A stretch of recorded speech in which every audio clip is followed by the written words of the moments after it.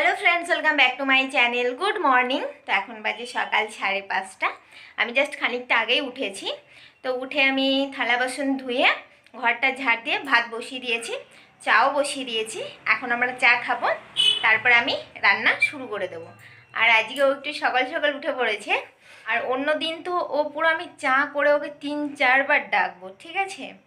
তো উঠতে চাইবে না মানে আমি যখন জল বসাবো ওকে বলব চা হয়ে গেছে। জল বসিয়ে দিয়ে আমি বলব চা হয়ে গেছে। ও বলবে, হুম।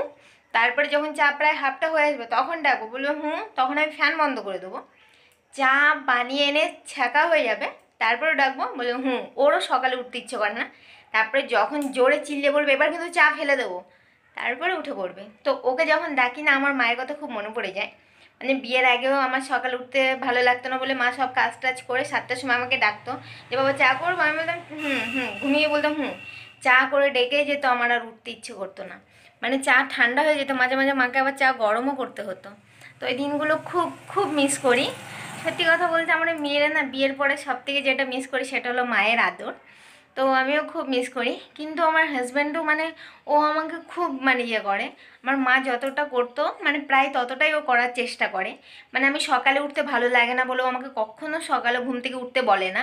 তারপরেও যদি কোনো দিন খুব দেরি হয়ে যায় উঠতে উঠতে দেরি হয়ে গেলে আমার রান্নার অসুবিধা হয়ে যায়। তো জাস্ট বলব, আমি বলব, আমি আমার নিজেরই খারাপ লাগে। আমি বলব, আমি আজকে সকালে উঠতে বলল, ঠিক আছে, ছাড়ো না, আজকে তুমি খিচুড়ি করে দাও। মানে খিচুড়িটা চটপট হয়ে যায়।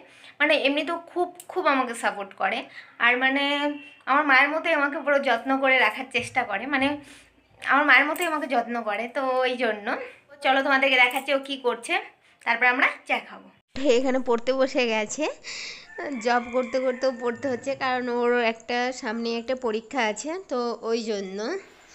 তো এখানে আমি চা ছেঁকে নিচ্ছি, তারপর আমরা চা খেয়ে নেব, তারপর আমি রান্না শুরু করে দেব। আর ভিডিওটা আমি যেদিন এডিটিং করছি, তো আমার ঠান্ডা লেগে গেছে, ওই জন্য ভয়েসটা একটু এরকম শুনতে, শোনা যাচ্ছে, তো তোমরা প্লিজ কিছু মনে করো না।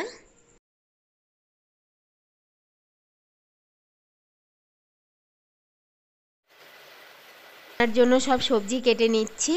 তো আজকে আমি একদমই সিম্পল রান্না করব মানে আলু বেগুনের একদম সিম্পল ঝোল করব মাছের। আর দেখো আজকের ওয়েদারটাও মানে কেমন যেন টাইপের একটু রোদ্দুর উঠছে, আবার মেঘলা করে বৃষ্টি হচ্ছে। সকালে তো খুবই বৃষ্টি হচ্ছিল, এখন আবার একটু হালকা হালকা রোদ্দুর উঠছে। এই দু তিন দিন ধরে এরকম হচ্ছে। তো পুজো চলে এসছে, আমি জামা কাপড় ধোবো, কী যে অবস্থা। আর জামা কাপড় এক রোদ্দুরে না শুকালে না বেশ ভালো লাগে না, আমার ভালো লাগে না। মনে হয় কি যে ঠিকঠাক হয়নি, সেই কেমন ঠান্ডা মতো হয়ে থাকে, তো ওই জন্য। আমি রান্না শুরু করে দিয়েছি। আর মাছ ভাজা এদিকে হয়ে গেছে প্রায়, এখন আমি মাছের ঝোলটা করব। আর একদম আমার মাছের ঝোল হচ্ছে আলু বেগুন দিয়ে। আজকে এই মাছের ঝোল হচ্ছে আলু বরবটি, ঝাল হচ্ছে আর উচ্ছে ভাজা। সে উচ্ছে বলেছিলাম না, অনেকগুলো নিয়ে এসেছিল, তো সেদিন বেড়েছিলাম আর তিনটে ছিল, তো ওই জন্য। আর উচ্ছে ভাজাটা বেশ আমার ভালো লাগে খুব।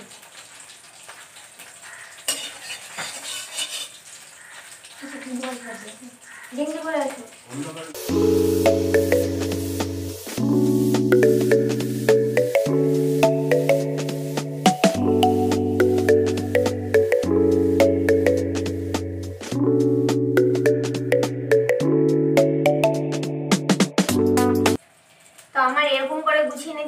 লাগে, তাহলে রান্না করতে বেশ ভালো হয়।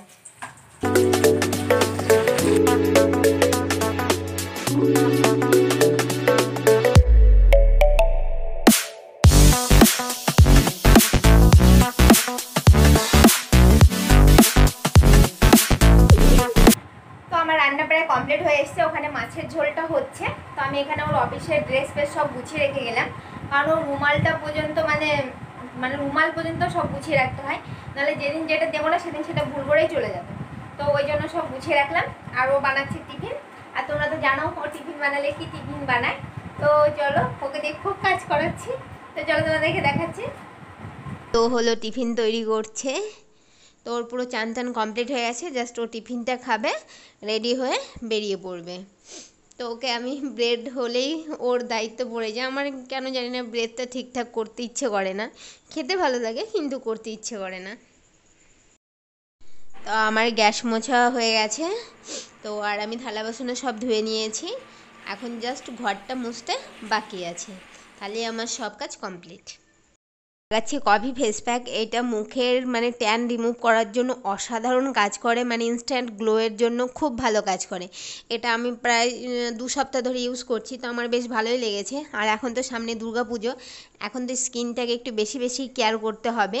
তো আমি জাস্ট মুখটা ফেস ওয়াশ দিয়ে ধুয়ে নিয়েছি, আর এর মধ্যে আছে কফি একটুখানি কফি পাউডার একটু হলুদ গুঁড়ো, আর দিয়েছি দই, আর একটু লেবু রস। জাস্ট এভাবে মেখে রেখে দেবো, তারপর একটু হালকা শুকিয়ে যাওয়ার পর আমি এটাকে ধুয়ে নেব। তো আমার সব কাজ কমপ্লিট হয়ে গেছে। তো এই ফেস প্যাকটাও না খুব ভালো, মুখের গ্লোয়ের পক্ষে মানে মুখের ট্যান ভাব রিমুভ করার পক্ষে খুবই ভালো। তো মুখে যদি খুব র্যাশ থাকে তাহলে তোমরা ইউজ করো না, কারণ র্যাশ থাকলে ইউজ না করাই ভালো। আর জানো তো সামনে আমার হাজব্যান্ডের বার্থডে মানে শনিবারের বার্থডে তো ওর জন্য আমি কিছু সারপ্রাইজ প্ল্যান করছি। এবার দেখি কত দূর কী হয় মানে এই জাস্ট এই শনিবারে। তো ওর জন্য আমি অনলাইনেও কিছু অর্ডার করেছি। এবার কী যে হবে ডেট তো আগেই দেখাচ্ছে দেওয়ার। এখন ধরো জন্মদিন হওয়ার পরে জিনিস আসলো।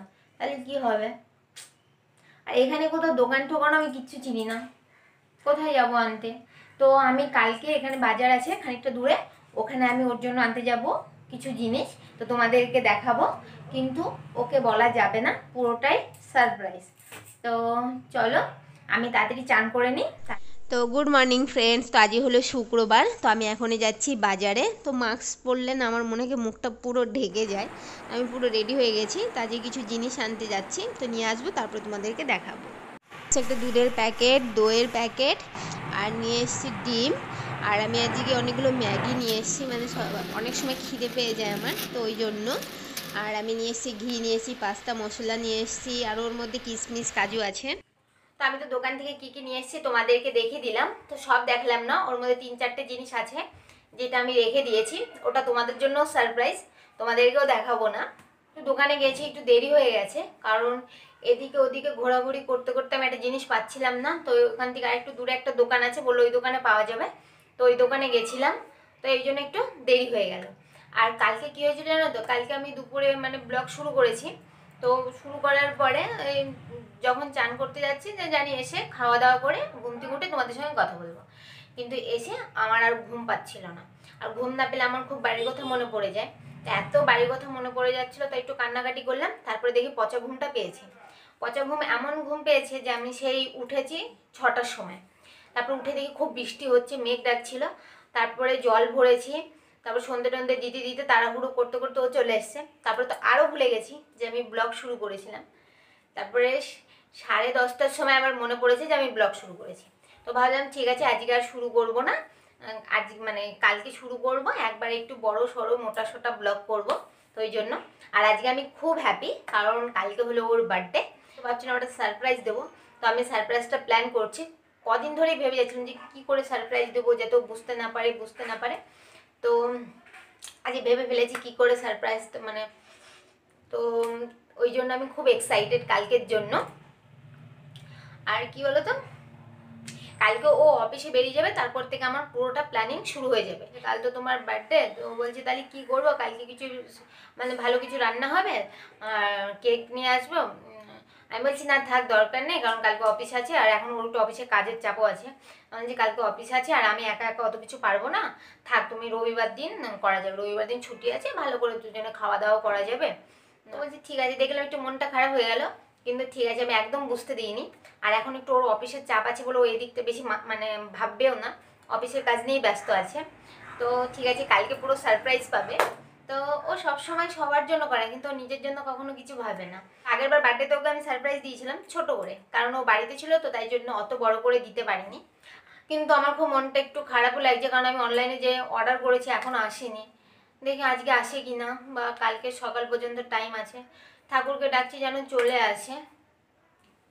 আর তোমরা সবাই আমার পুজোর শপিং ভিডিওটা তোমাদের সবার খুব ভালো লেগেছে। তোমরা সবাই কমেন্ট করেছ লাইক করেছ। তো তোমাদের অসংখ্য ধন্যবাদ। এইভাবেই তোমরা আমাকে ভালোবাসা দিও।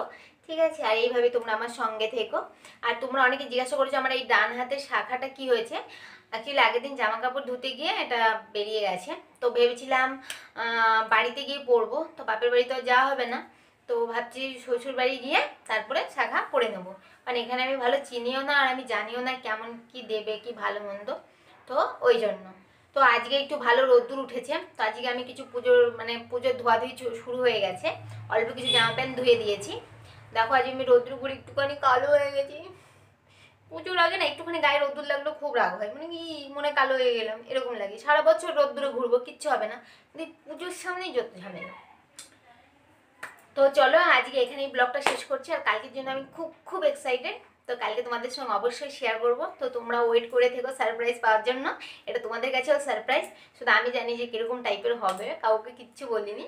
তো এখানে আমি আমার ব্লগটা শেষ করছি। তো তোমরা সবাই ভালো থেকো। আর যদি তোমাদের ব্লগটা ভালো লাগে, তাহলে এটা লাইক করো কমেন্ট করে বলো কেমন হয়েছে। আর যারা নতুন দেখছ, তারা প্লিজ প্লিজ আমার চ্যানেলটাকে সাবস্ক্রাইব করে দিও। তো সবাই ভালো থেকো। টাটা!